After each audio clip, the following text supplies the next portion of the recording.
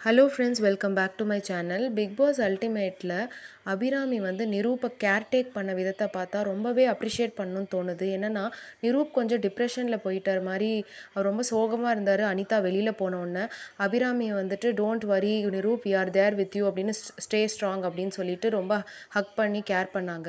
Night உடனே அவர் கொஞ்சம் mind free ஆகிட்டார் அப்போ எல்லாருக்கும் ஆம்லெட் போட்டு அது மாதிரி சாப்பாடு பண்ணி எல்லாம் கொடுக்கும்போது அபிராமி வந்து வாட் இஸ் திஸ் அப்படின்ற மாதிரி வந்து கேட்குறாங்க அதுக்கு நிரூப் வந்துட்டு ஒன்றும் இல்லை ஃபிஷ் சாண்ட்விச் அப்படின்றாரு. எது? ஃபிஷ்ஷா ஐயோ பா அப்படின்னு போயிடுறாங்க. உடனே நிரூப் ஏன் ஐயோன்ற நீ சாப்பிட்டது இல்லையா? என்ன ஃபிஷ்ஷு அப்படின்ற கேட்குறாரு அதுக்கு அபிராமி நோ வே என் லைஃப்பில் நான் வந்து நான்வெஜ்ஜே சாப்பிட்டதில்ல அது எஸ்பெஷலி ஃபிஷ்ஷை போய் சாப்பிடுவேனா. என்ன நிரூப் நீ? அப்படின்றாங்க. அதுக்கு உடனே நிரூப் வந்து ஏய் மறந்துட்டியா என்ன? நம்ம டேட் பண்ண டைமில் வந்து நீ ஃபிஷ்ஷை சாப்பிட்ருக்க அப்படின்றாரு. Definitely not no way Niroop. அப்படின்னு திருப்பி கத்துறாங்க. அப்போ தாமரை வந்து ஏன்டா அவளை வம்பு இழுக்கிற? அப்படின்னும் போது இல்லைக்கா இவளுக்கு தெரியாது. இவள் சாப்பிட்ருக்கா மறந்துட்டா போல இருக்குன்னு நான் சாப்பிட்டதே இல்லை நிரூப் சத்தியமாக நான் சாப்பிட்டதில்லை அப்படின்றாங்க. உனக்கு ஞாபகம் இருக்கா? நம்ம டேட் பண்ணுற டைமில் வந்து ஓஎம்ஆரில் ஒரு பர்கர் ஷாப்க்கு போவோமே. அப்படின்னா ஆமாம் அந்த பர்கர் ஷாப் ஞாபகம் இருக்குது அப்படின்னா அதில் நான் வெஜ் பர்கர் தானே சாப்பிட்டேன் அப்படின்னா இல்லையே என்கிட்ட இருந்த ஃபிஷ்ஷை நீ சாப்பிட்டியே ஆனால் உனக்கு தெரியாமே அதை சாப்பிட்டியே அப்படின்றாரு.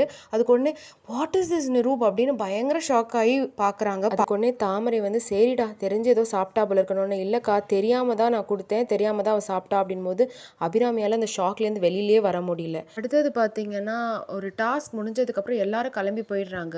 ஆனால் அபி வெயிட் பண்ணிட்டு இருக்காங்க இன்ஸ்ட்ரக்ஷனுக்காக அப்போ டக்குன்னு வந்து கண்ணம்மா அப்படின்னு ஒரு வாய்ஸ் வருது. ஓ my God Biggie I love you அப்படின்னு இவங்க ஆரம்பிக்கிறாங்க. உடனே பிக் பாஸ் வந்துட்டு கண்ணம்மா குட் நைட் அப்படின்றாரு. Thank you Bigg Boss thank you உங்ககிட்டேருந்து இந்த மாதிரி என்னை கண்ணம்மான்னு கூப்பிடுறது ரொம்ப சந்தோஷமாக இருக்குது அப்படி சொல்லிட்டு செம்ம எக்ஸைட் ஆகிட்டு அங்கேயே ஒரு குதி குதிச்சு சந்தோஷத்தில் என்ன பண்ணுறதுனே தெரியல. அப்புறம் மற்றவங்கெல்லாம் போயிட்டாங்க. இவங்க மட்டும் பயங்கர சந்தோஷத்துலேருந்து அந்த ரூமை விட்டு போகிறாங்க அனிதா கிளம்பினதுக்கப்புறம் பார்த்தீங்கன்னா நிரூப் இன்னும் ஃப்ரீயாக அபியோட தன்னோட பாஸ்ட் மெமரிஸை ஸ்வீட் மெமரிஸை ஷேர் பண்ணும்போது பார்க்கவே க்யூட்டாக இருந்தது.